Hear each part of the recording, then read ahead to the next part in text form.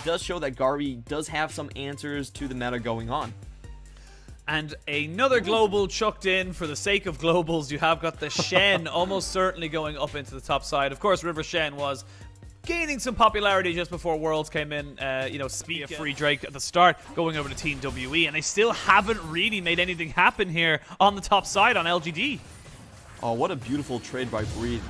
Breathe is basically winning every single trade against this Renekton. Engaging, they're very, very nicely set up, very, very highly mechanical, as we can see the Leona jumping straight now on top of Peace. They will knock him back, but the Shen is there. They're going to try and just use him as a Shen delivery system. The cleanse has been used. Peace, though, will fall down at his first blood. The feathers fly. They're tanking up the turret. Garvey, though, flashing underneath his own turret. Ooh. Nicely done, though, from Garvey. He will end up going down, but very well played there from the stand-in AD carry. Great fall, uh, fall down there.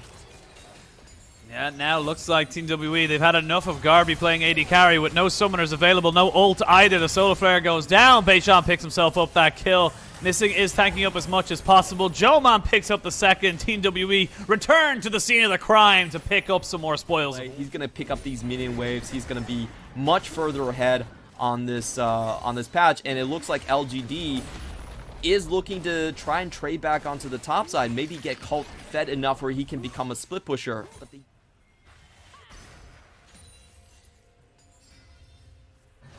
A lot of pings coming out um, onto the bottom side, so they definitely know where Beishang is, and uh, I am not hearing my co-caster at the moment, so I'm just going to continue with the cast. Limpid does fall down as Beishang comes in, swoops in for another kill. Uh, ladies and gentlemen, we do have some uh, technical difficulty, so it's going to be me solo cast for a while right here. We're seeing Garvey able to get the Blade Storm off, but is he able to survive? Wow, the shield comes in, but unfortunately, the Leona still falls down. It's a one-for-one -one trade, and very well played by Garvey in that instance. Again, we also saw the ultimate burn by the Shen. Stand United not able to teleport down here.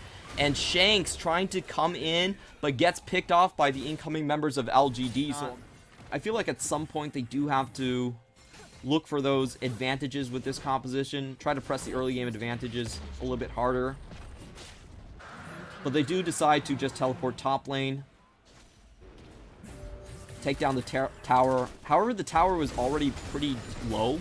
This is sitting on like 300.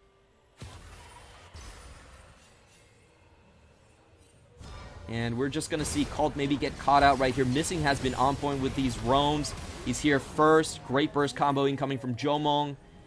And unfortunately for LGD, got themselves the two dragons stacking, and looks like they're going to try and catch out this top lane now. There is a flash available, nicely done here by the side of Team WE to get themselves a nice, easy, and quick kill. And overall, it feels like as soon as I come back, LGD just have to hit the go button straight away. Garvey dies in the air. Doesn't even get to let the feathers fly. Flora is here at Cult, though. 3v2, 3v3 as Peace still available with that flash. Walk in and kill him underneath the tower. Breathe has a perfect angle right here, and how is LGD going to get away with this? Ooh, they get the kill onto the Rift Herald, but I don't... I just want to say one of the greatest changes come into them. Yep, you're now putting on a five-minute timer. So again, similar to game one, it is at 23 minutes roughly that you'll see Team WE and LGD really go a clash of heads.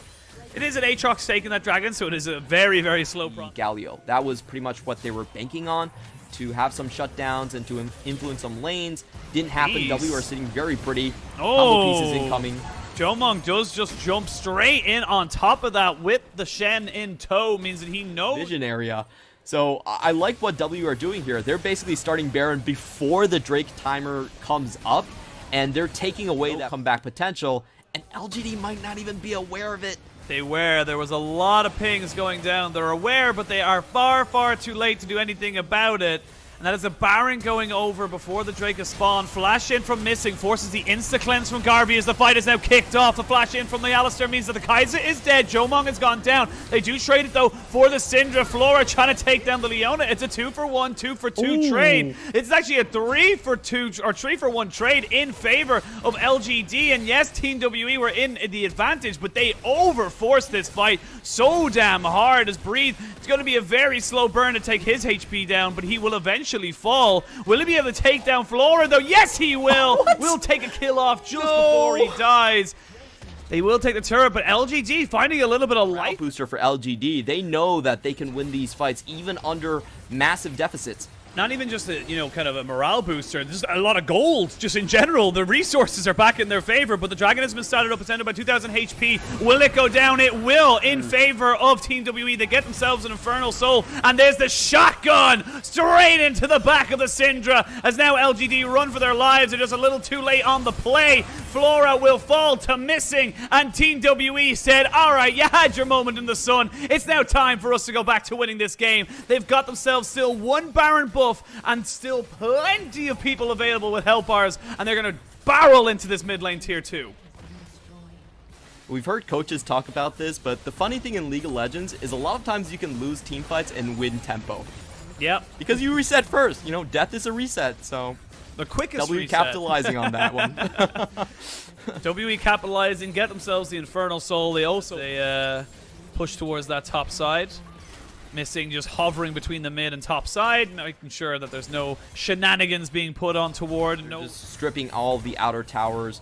Uh, they're not really uh, putting too much weight on the Stand United at this point. They just have to make it happen, and this is exactly how you make it happen. But it doesn't matter if you're all the way in the enemy base near the Baron. If you get caught out in the mid lane now, it's a 4v5, and they just jump in with Jiumeng, who has to go into Golden Stasis. I don't even think it matters if he dies because it does too much damage from the Aatrox, too much healing as well. And Peace not being there means they get completely caught out. Does knock back Breathe though, and he actually might fall just because of the turret aggro. So overall, it ends up being a two for two trade. But Team WE, they've got the pressure in the mid lane. They can turn straight to. I feel like you're just gonna have to give this one up. LGD, Kevin not in position. You decided to try and go for the Baron. That was the incorrect choice, and now that the Elder Drake is down, That's about it. I- I'm not walking anywhere near. and you can see already missing just straight up wise to that as well as Shanks. And they're just saying, right, we know. He, the way he's playing, I- I think it actually it actually suits his style. It suits his team. Where you're looking at a team that's not the W of 2020. They actually have multiple carries right now, and they can afford to play this way. Yeah, is around here trying to see if he can just can he get some clip clip feathers onto some of those minions, but the fight will go in. The flash in, the knock up. They are going to use Jiumeng to get himself backed away completely. There is going to be Beishang jumping straight on top of the Syndra. Garvey gets some nice feathers pulled, but everybody will be falling down. There's only so much that Cult can do, and that is going to be game two and match point to the side of Team. WE.